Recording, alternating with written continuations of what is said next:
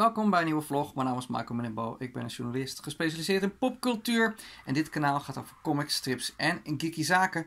En we gaan het zo meteen over dit album hebben. Maar eerst wil ik je vragen om, uh, om je te abonneren en om de video's te liken die ik maak. En misschien ook te delen op sociale media. Want dat helpt met het uh, groter worden van dit kanaal. We willen natuurlijk dat zoveel mogelijk mensen weten dat er hele toffe strips en comics in de wereld te lezen zijn. Want daar gaat dit kanaal over, zoals ik al zei. Goed, dit boek kreeg ik opgestuurd van uitgeverij Personalia. Peter de Smet, de generaal, gaat integraal. Deel 4 alweer van deze reeks. En dit zijn strips en verwante zaken die in deze twee jaren zijn verschenen. Laten we even naar de achterkant kijken van het boek. Hier zien we Peter de Smet. In de generaal gaat integraal deel 4. Verhalen van de generaal van 1977 tot halverwege 1979. Een eerste kennismaking met een vervolgverhaal van de generaal, de erfenis van Oom Jules.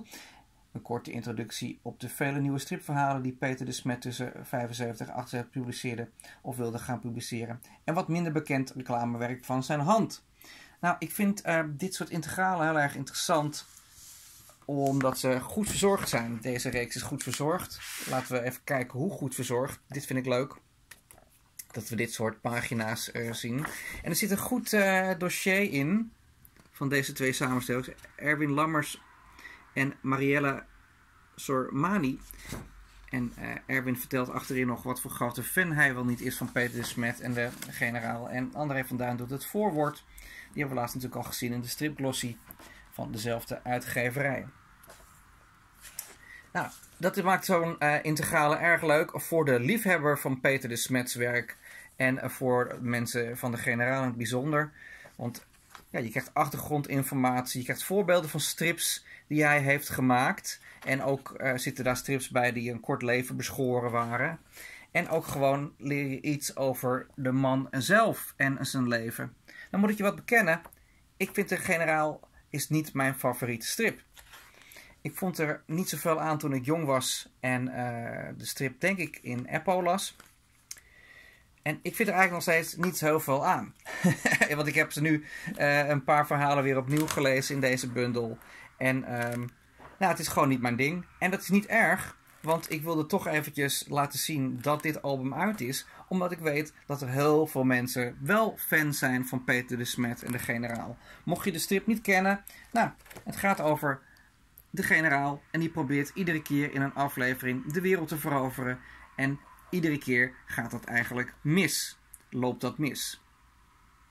En uh, nou, zo is het dus getekend.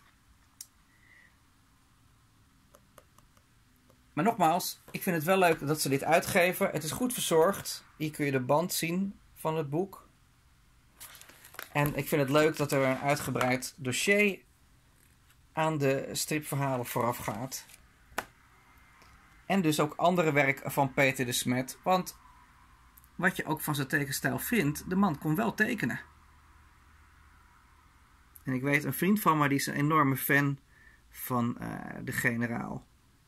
Dus die zal al zeker dit boek, en van Peter de Smet trouwens, die zal dit boek zeker met plezier gaan lezen.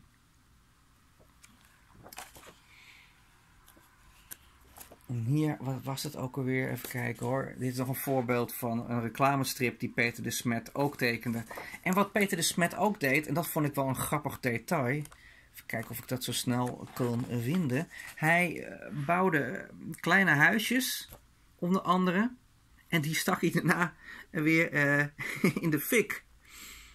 En er staat ook in, en dat vind ik wel opmerkelijk, hoe onverschillig de Smet eigenlijk omging met zijn originele. Als het dak lekte, stopte hij gewoon pagina's van de generaal in het gat van het dak. In de hoop dat daarmee de lekkage tijdelijk verholpen was. Want als eenmaal een pagina was gepubliceerd, dan uh, interesseerde me eigenlijk niet zoveel wat daar nog mee gebeurde met de originele in ieder geval. Dus dat zijn altijd leuke details om te lezen. Anyway, ik ben wel benieuwd. Zijn jullie fan van de generaal? En uh, zo ja, waarom? Wat vind je leuk aan deze strips van Weilen Peter de Smet? Dankjewel voor het kijken naar deze vlog. De generaal gaat integraal deel 4 alweer. Is dus nu in de stripwinkel te verkrijgen. En ik zou zeggen, op naar de volgende vlog.